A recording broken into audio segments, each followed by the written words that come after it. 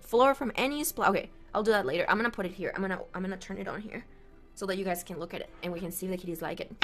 Um, fill the fountain by pouring water directly into the bowl. Leave it at least half an inch space between the water level and the rim of the bowl to help control spills. Okay, make sure the cord and the adapter on your hands. Make sure the cord and the adapter on your hands are completely dry before. Alright, we're gonna fill it first. That? You were staying on my dress?